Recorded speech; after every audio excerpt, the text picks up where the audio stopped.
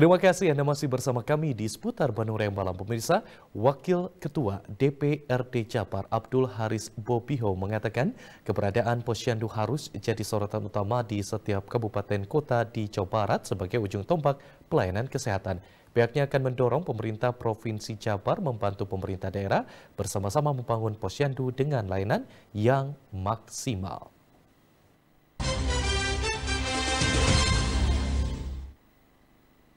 Pimpinan DPRD Provinsi Jawa Barat dari daerah pemilihan Dapil, Jawa Barat 6, Kota Depok dan Kota Bekasi, Abdul Haris Bobiho, melakukan jaring aspirasi masyarakat Kelurahan Bojong Sari Baru, Kecamatan Bojong Sari, Kota Depok, dalam rangka reses 3 tahun sidang 2018.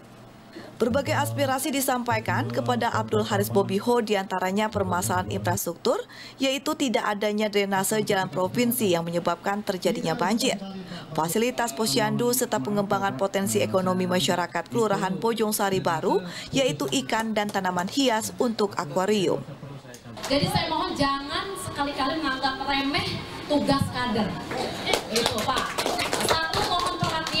Wakil Ketua DPD Provinsi Jawa Barat Abdul Haris Bobiho mengatakan, keberadaan pos pelayanan terpadu atau posyandu sangat dirasakan manfaatnya oleh masyarakat, terutama untuk memberikan kemudahan dalam memperoleh pelayanan kesehatan dasar bagi ibu, bayi, dan anak balita, sehingga keberadaan posyandu harus menjadi sorotan utama di setiap kabupaten dan kota di Jawa Barat sebagai ujung tombak pergerakan dan pelayanan kesehatan kepada masyarakat.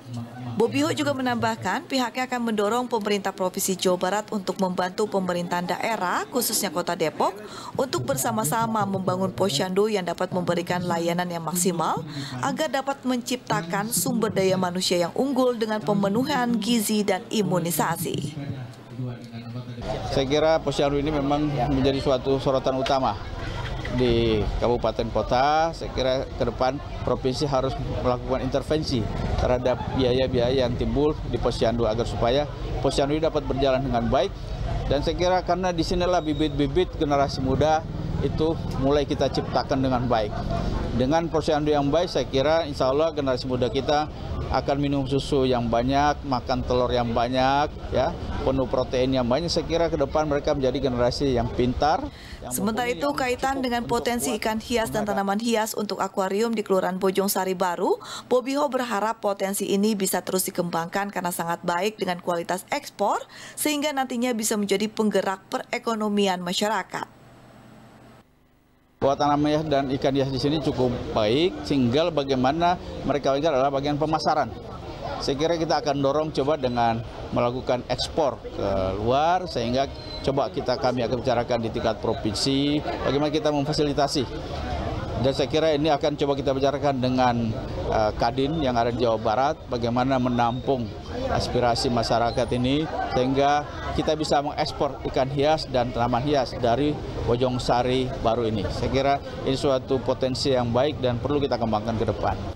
Ketua Lembaga Pemberdayaan Masyarakat Kelurahan Bojong Sari Baru Kota Depok Yusra Amir mengatakan, Kelurahan Bojong Sari Baru Kota Depok mempunyai kapasitas 3 juta ekor ikan hias per tribulan serta tanaman hias untuk akuarium dengan kualitas ekspor. Saat ini keterbatasan lahan, keterbatasan teknologi serta akses pemasaran menjadi kendala utama bagi para petani dan tanaman hias akuarium tersebut. Kalau kita katakan di kota Depok, tanaman hias untuk tanam namanya tanaman air untuk akuarium ya, yang ekspor itu adanya di Bojong Sari Baru. Kemudian ikan hiasnya juga sebetulnya ekspor, tapi eh, pemasaran itu membuat kita harus menjualnya lebih banyak kepada tengkulak. Humas DPRD Provinsi Jawa Barat melaporkan. Dari provinsi